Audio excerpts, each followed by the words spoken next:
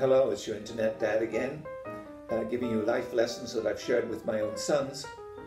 Uh, they cover a whole raft of experiences, but they will also include a series called Dress for Success, which tells you uh, what is the basic uh, acceptance uh, in most business and social uh, events.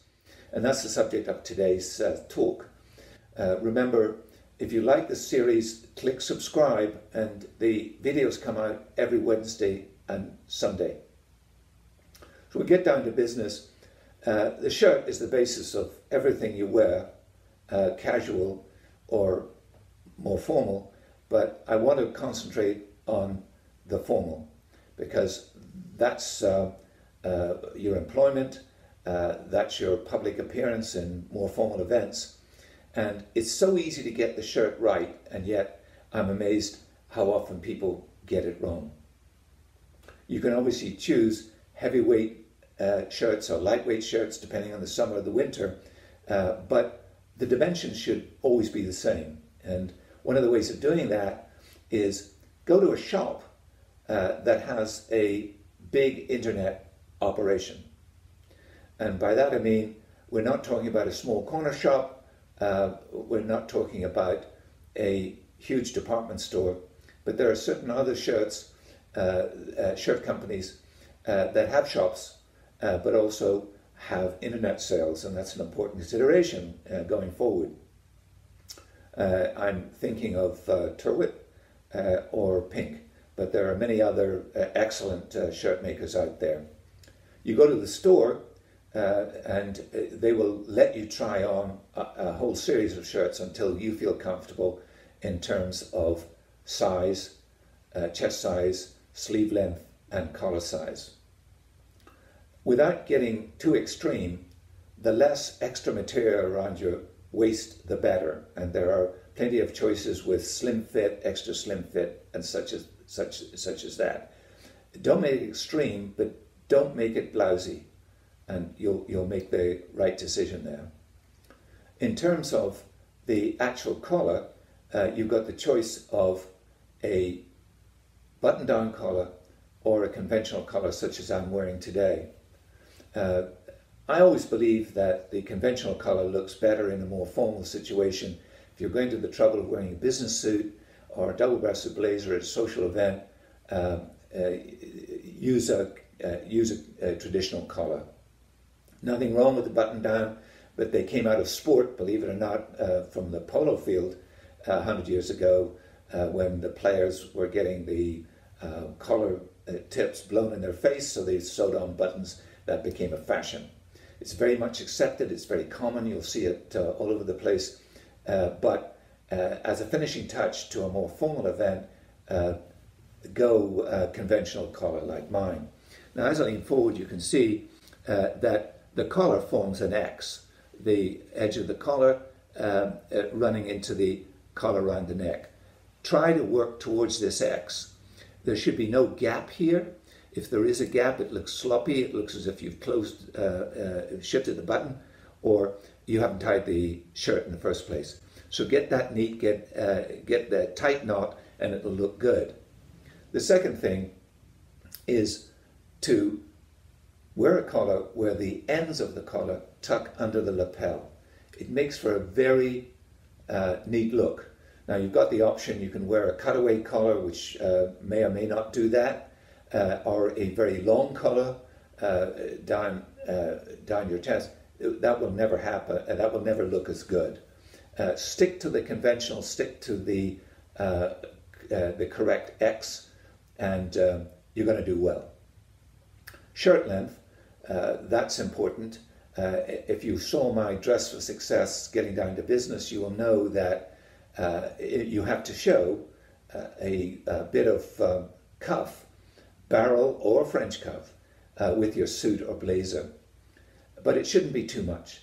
And the recommended period uh, distance is a quarter of an inch to half an inch.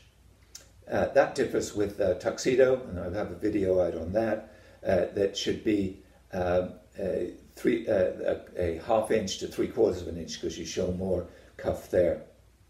But get, get, these, uh, get these numbers right, these measurements right, and then be patient because you'll um, you'll be able to see from time to time they'll have Christmas sales or mid-year sales, and you can stock up some uh, very good shirts, uh, 100% cotton, uh, whatever uh, uh, barrel or French cuff for 30 $35 and very, very good value.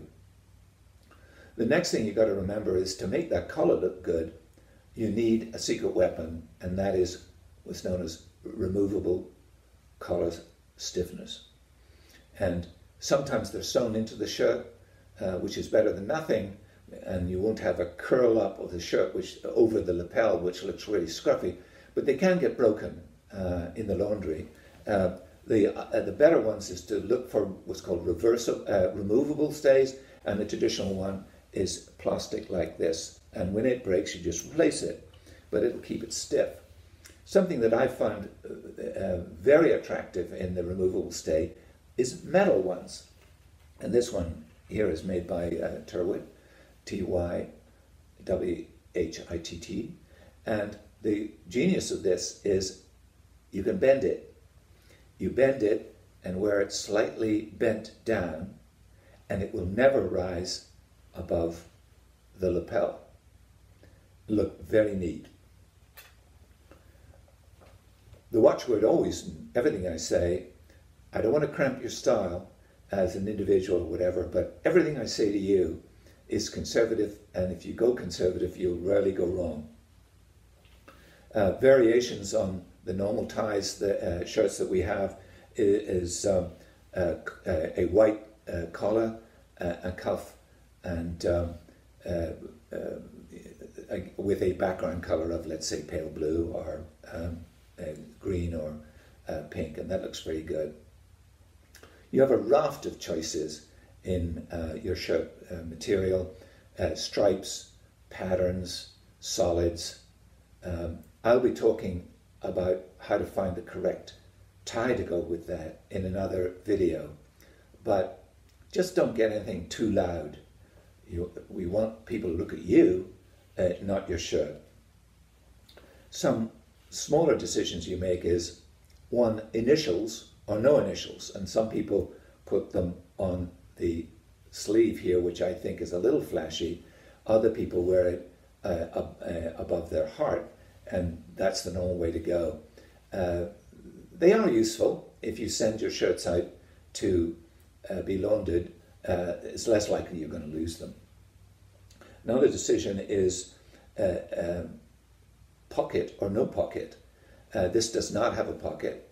the tradition seems to be the more expensive the shirt, the rarer you will find the pocket, but it's not important. The, uh, the reason why it's missing is the assumption is this shirt is more formal. It'll be worn with a jacket, and jacket has pockets.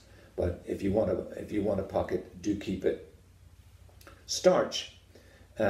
Uh, a starch shirt, and this obviously doesn't apply to uh, the um, non-iron, uh, but you can ask your laundry to put a starch in your shirt. I always advocate light starch. It looks very crisp uh, except for tuxedo shirts, uh, you should go for heavy starch for them. Um, it'll look a, a, a lot better. Um, but there's one caveat, and that is over time, uh, starch will uh, damage your shirts. It will damage the stitching on your shirts, but it's not too uh, much of an issue.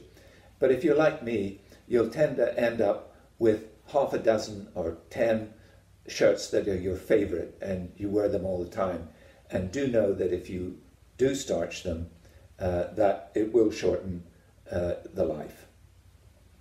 Uh, so the finishing touch, as I said, is the tie. That's going to be a subject for uh, another um, uh, video. But in the meantime, uh, if someone else needs suggestions or help in this area, don't forget to give them the link. See you next time.